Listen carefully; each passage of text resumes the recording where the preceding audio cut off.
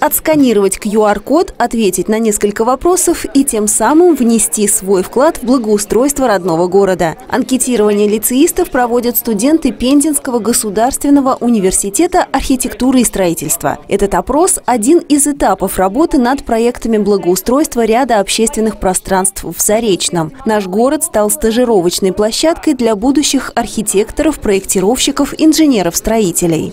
Это же очень важно, в принципе, когда ты учишься, надо проходить стажировку, надо пробовать свои знания уже на настоящей практике. Ну и плюс к тому же, как бы очень приятно, что можно как-то, во-первых, помочь э, области, городу, а во-вторых, ну, приятно, что твой проект реализуется. Студентам поручено разработать концепции благоустройства четырех территорий – сквера имени Димакова, площадки у дома 42 по проспекту Мира, территории между школой 225 и рынком Горошек, зоны отдыха «Солнечная». В рамках проекта формирования комфортной городской среды эти общественные пространства должны обрести новый облик до 2024 года. Разработчики начали с изучения местности.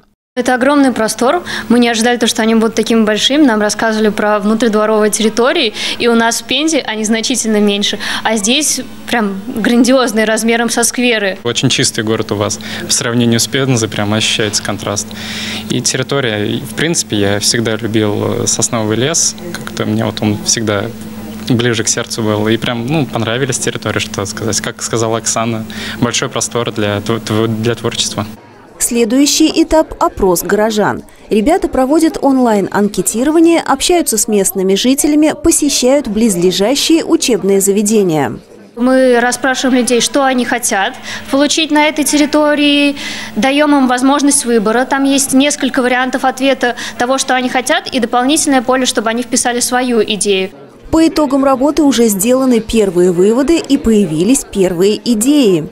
Большинство из территорий сейчас имеют транзитный характер. Мы бы хотели добавить в них какие-то функции, чтобы люди в них задерживались, проводили больше времени, и эти территории жили как-то. Чтобы люди хотели там оставаться подольше, проводить свое время не дома где-то за компьютером или за телевизором, а именно на свежем воздухе.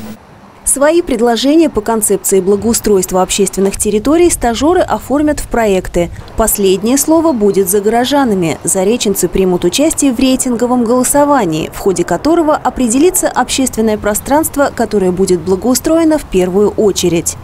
Светлана Теплухина, Владимир Полищук, телерадиокомпания «Заречный».